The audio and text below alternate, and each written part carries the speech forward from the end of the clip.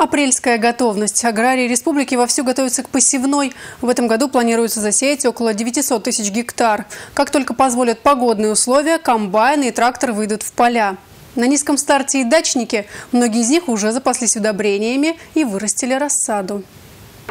Ирина Костылева уже в январе начинает готовиться к дачным работам. Покупает почву и тару для рассады. Перебирает и сортирует семена. Рассаду выращиваем дома, потому что хочется как можно раньше получить урожай. Все-таки культуры теплолюбивые, им нужно побольше тепла. И все-таки период э, от всходов до плодоношения очень большой. Поэтому необходимо их сажать именно а, заранее.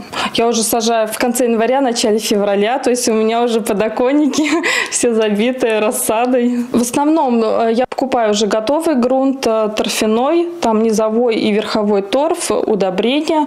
То есть я ничего дома заранее не готовлю. Уже все готовое я покупаю. В первую неделю февраля опытная дачница Ирина уже высеивает помидоры, перец и лук-порей. В этом году удалось вырастить 40 кустов помидоров, 50 сладкого перца. Совсем скоро они переедут в теплицу. Отдельное внимание цветам. А здесь у меня подоконник с цветами в основном. А, лук-порей, базилик, кориопсис есть цветы такие, а, гвоздика, лаванда. Стаканчики я использую газово, то есть не, не один год, два, три, насколько их хватает, поэтому практически затрат никаких.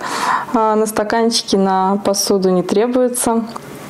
Вот, и все прекрасно растет, но нельзя забывать, конечно, сделать дырочки в стаканчиках, чтобы были отверстия, чтобы вода лишней вытекала. Для цветов тоже нужно делать рассаду. Для чего вот это вот делается? А многие многолетники, конечно, лучше высадить заранее, потому что они бывают не первый год цветут, не, не сразу зацветают.